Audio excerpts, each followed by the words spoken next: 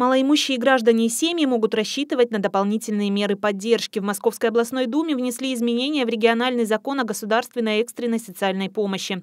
Новый проект закона разработан в целях расширения механизма оказания поддержки заключившим социальный контракт гражданам, попавшим в трудную жизненную ситуацию.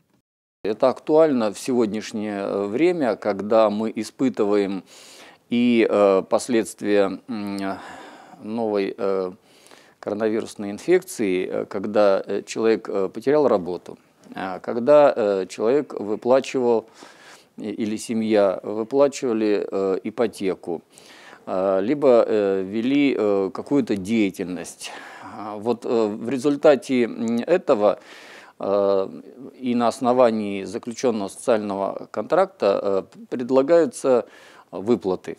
Сам контракт теперь включен ряд дополнительных пунктов – поиск работы, ведение личного подсобного хозяйства и иные направления. Сроки выплат зависят от продолжительности мероприятия, однако не могут превышать 12 месяцев.